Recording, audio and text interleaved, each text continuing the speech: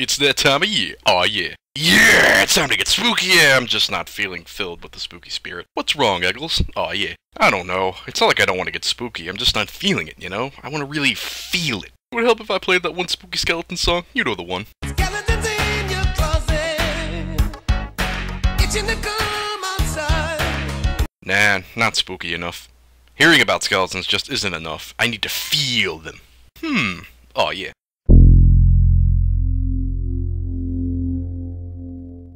Maybe I could summon skeletons using the black hole Sonic created in the last video. Oh yeah. Just need the blood of a virgin, a block of cheese, and Satan's ass cheeks.